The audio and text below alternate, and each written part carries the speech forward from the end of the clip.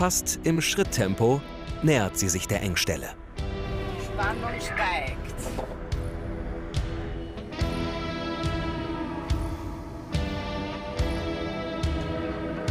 Schauen wir mal.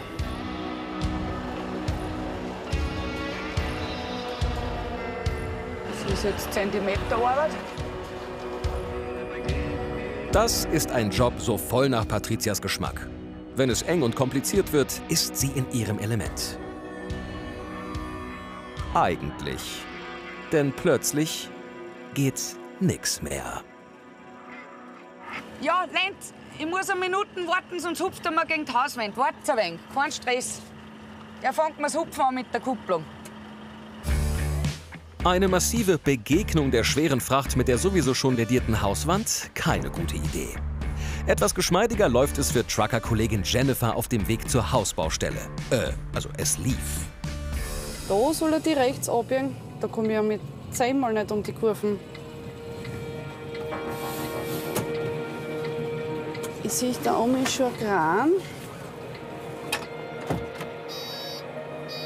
Das Ziel so nah und doch so unerreichbar. Die vorsichtige Jennifer sondiert erstmal die Wegelage. Da nicht rein. Ich habe auf Google Maps noch nachgeschaut. Es wird noch einen anderen Weg geben, auf da.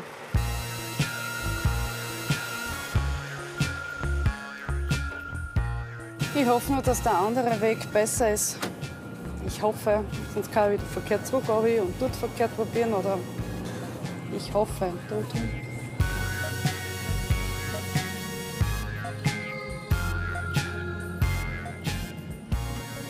Das ist ja auch kein Weg. Da komme ich auch nicht. Nein, da kann ich nicht umfahren. Nein, das ist der Weg nicht.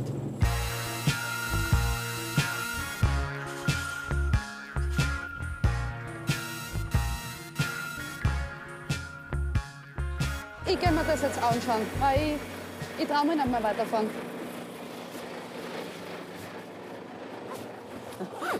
Also laut den sind schon 300, 400 Meter, was wir jetzt da runtergehen müssen, aber es hilft nichts. Bevor ich irgendwo stecken bleibe, traue ich mich nicht mehr. Oh. Ich suche meinen Kran. Trucker-Küken Jenny sucht in Österreich ihren Kran. Trucker-Urgestein Helga sucht in Spanien einen Parkplatz. Na, echt jetzt.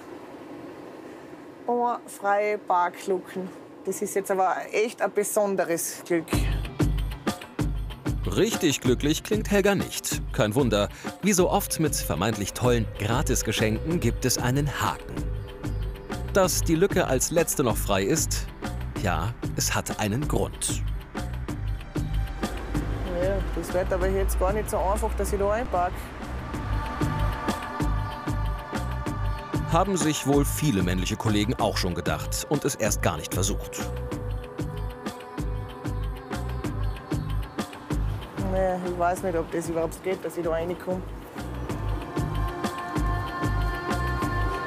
Das Problem ist ja jetzt nicht nur, dass ich da irgendwie reinkomme, sondern ich habe da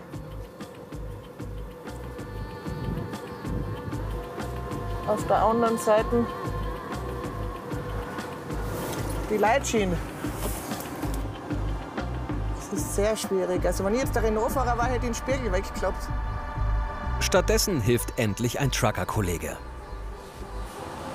Das war jetzt echt ein super Einweiser. Der hat mir immer gesagt, schau zu mir, schau zu mir.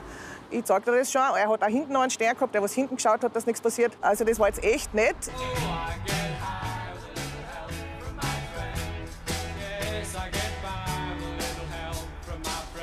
Geschafft. Helga steht sicher auf dem Security-Parkplatz vor den Toren Barcelonas und kann entspannen. Bis zum nächsten Abend. Da geht es auf die Fähre nach Ibiza. Willem Alexanders erste Schiffsfahrt. Was der auf seiner ersten Tour so alles erlebt. Ah, ich liebe dieses Schiff. Fast überhaupt kein Absatz beim Reinfahren. Ich heb dich trotzdem ein bisschen auf, mein Schatz. Ja, und wenn ich ihn jetzt nicht gehebt hätte, hätte es schon einen gemacht.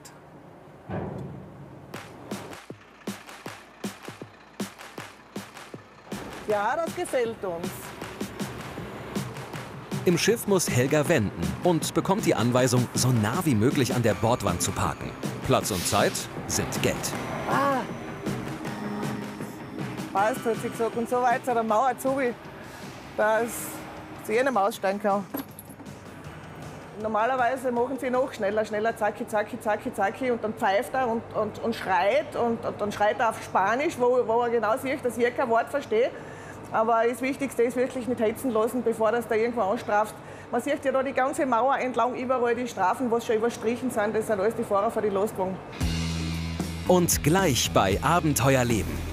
Auf Ibiza wird es nochmal richtig eng für Trucker Queen Helga und ihren König Willem Alexander. Wie befürchtet, muss Jenny rückwärts ihre Fracht an die Baustelle bringen. Und Schwertransportspezialistin Patricia steckt noch immer fest. Das ist ein Wahnsinn. Das ist ein Wahnsinn. Hast so was Blödes hörst. Die österreichischen Trucker Babes sind gleich zurück.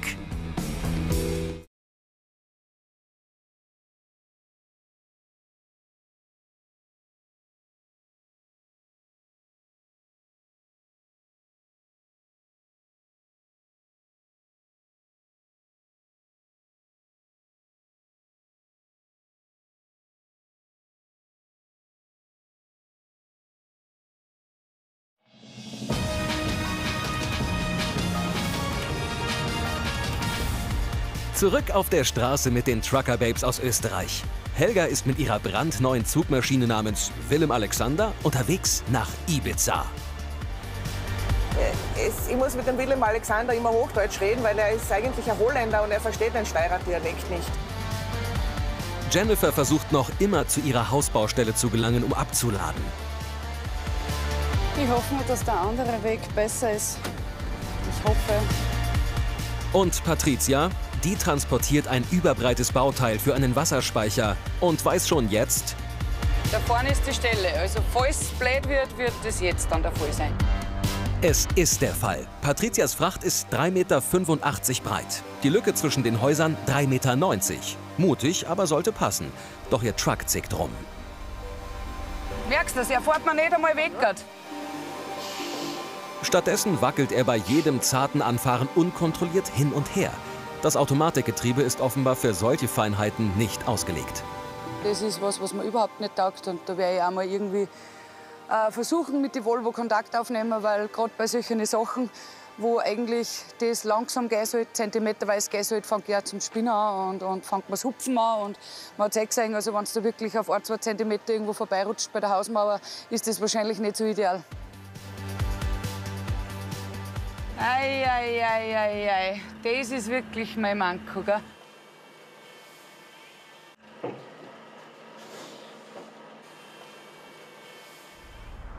So, probieren wir es noch mal. Schauen wir mal. Mach keinen Stress, Stress nicht, nerv nicht, chill nicht, Stress.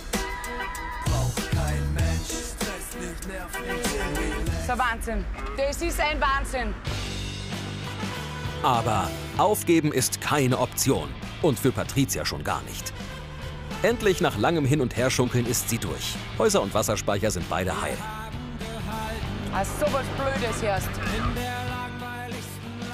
Patsy ist sauer. Aber sie haben es ja geschafft. Jetzt muss sie nur noch rückwärts an die Baustelle, mitten im Nirgendwo, anfahren. Dann ist sie den Wasserspeicher los. Und Patricia, die Schwertransportspezialistin, kann langsam entspannen. Und freut sich schon auf die nächste knifflige Fracht. Helga hat die Nacht auf der Fähre verbracht und ist gleich auf Ibiza. Guten Morgen.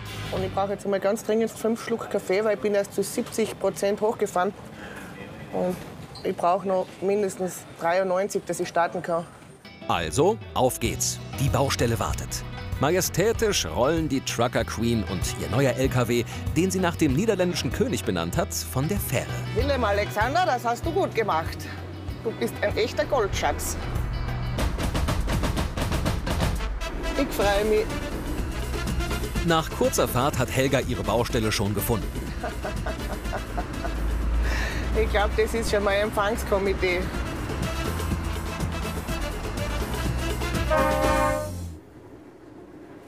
ja, das ist fein, das passt jetzt. Die regeln wir jetzt da im Verkehr, das letzte Stückchen. Helga ist zwar fast schon da, aber dummerweise muss sie erst mal umdrehen. Hola! Es heißt also mal wieder enge Landstraße gegen meterlangen Truck. Aber irgendwo scheint es ein Plätzchen zu geben. Laut Zeichensprache hat er mir jetzt gesagt, ich soll da auffahren, umdrehen. Wo man da jetzt umdrehen kann, ist mir jetzt aber auch nicht ganz. Nicht ganz klar. Oder nicht ganz geheuer? Man weiß es nicht. Auch Jennifer in Österreich sucht nach einer guten Anfahrlösung. Zu Fuß. Ah, ich habe ihn krank gefunden. Gott sei Dank. ja, guten Morgen, hallo. Du, jetzt frage ich dich was. Wie soll ich da am besten runterfahren? Jennifer geht lieber auf Nummer sicher und checkt den Fahrweg ab, bevor sie stecken bleibt. Brauchst du nur da oder da mitlenken? Passt, links, rechts, mehr hat er nicht. Mehr hat er nicht. Das reicht eh. Danke, derweil. Der Kranfahrer hat die Fernbedienung, mit der sich das Heck lenken lässt. Er hilft Jennifer, sodass sich die junge Truckerin ganz aufs Rückwärtsfahren konzentrieren kann.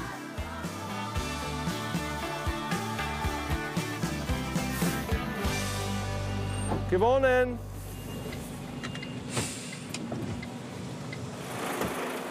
Tausend Dank, Perfekt, tausend Dank. oder? Super, super, super.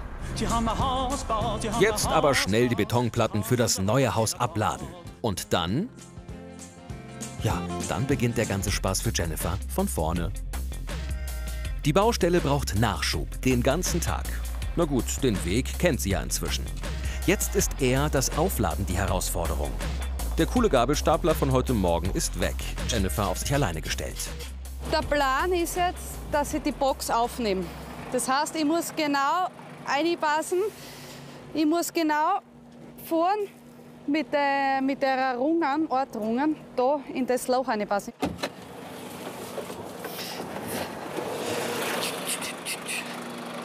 Schau mal, schau mal, schau mal. Das passt einmal, das erste Locherl. Wie schauen wir da aus? Das passt nicht, da ich es wahrscheinlich nicht reinkriegen, die Schrauben. Ich muss einmal schauen, wie ich ihn aufhebe. Einen Lotto 6 habe ich noch nicht aufgeschafft, auf Anhieb. Ab und zu habe ich eine Dreiviertelstunde, Stunde auch schon gebraucht für so eine Box aufnehmen, wenn es wenn, eventuell ein Kollege blöd hingestellt hat, unter Anführungszeichen. Aber das habe ich selber hingestellt und bin echt stolz, dass ich das heute echt so super schaffe. Dann sind die knapp 40 Kilo schweren Rungen dran. Jennifer hat lange dafür gekämpft, ihren Trucker-Traumjob machen zu können. Gegen äußere und innere Widerstände. Wie ich das erste Mal kam, haben wir gedacht, um Gottes Willen, was hat mir da der Disponent gesagt, das schaffen Frauen? Das ist schon schön schwierig. Meine Familie hat gefragt, ob ich blöd bin, deppert bin. Meine Mama und mein Papa, die wohnen mit mir zusammen. Mein Papa ist selber LKW-Fahrer. Ich habe leider nicht viel Kontakt. Mit Telefonieren hin da einmal. Am Anfang war er sehr hilfreich, weil da hat er mir sehr viele Sachen erzählt. Was wichtig ist, auf was ich schauen muss und so weiter. Ja, und jetzt ist er auch stolz, dass ich das mache und die Mama auch. Und meine Freunde haben gesagt, voll lässig, hau dir ein ins Zeug. Und das habe ich gemacht und jetzt stehe ich da. Glücklich und stolz bereitet Jennifer ihre nächste Ladung Hausbauteile vor. Etwas weniger amüsiert bereitet Trucker-Kollegin Helga auf Ibiza gerade das Umdrehen ihres langen Bespanns vor. Helga. No, no, no. Lass dich mal vorbei. Aber die Zeit und der Polierte drängen etwas. Nach Helga kommen noch weitere Trucks. Aber das abgeklärte Trucker-Babe lässt sich nicht stressen. Ui, geht sie sogar aus. Hätte ich jetzt ehrlich gesagt nicht geglaubt.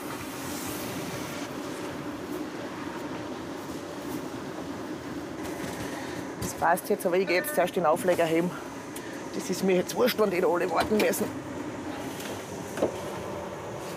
Marius, siehst du? Hebel nach rechts, dann geht er Vale. auf. Okay. Okay? Okay. Okay, dann heb du weiter. Ja, es ist einfach so ein, ein spitzer Winkel auf. Und wenn ich den jetzt nicht heb, werde ich da irgendwo einhakeln. Aber ich hoffe, er hat's passt. Helga hat ihren Truck und die Jungs auf der Baustelle im Griff. Es ist halt immer, wenn man so im Gelände drinnen ist. Vor allem, wenn es steil ist. Helga hat Erfahrung. Also dann mit Schwung.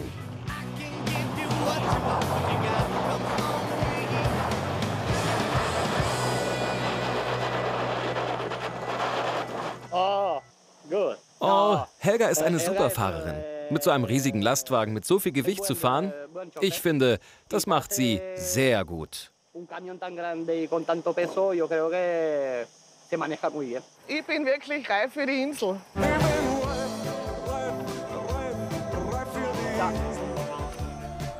Wie gut, dass das Abladen des steirischen Holzes Willem Alexander und die Jungs auf der Baustelle übernehmen. Da gönnt sich Helga doch glatt eine Stunde Auszeit am Strand und genießt die schönen Seiten ihres Truckerjobs, bevor sie sich auf den Heimweg macht.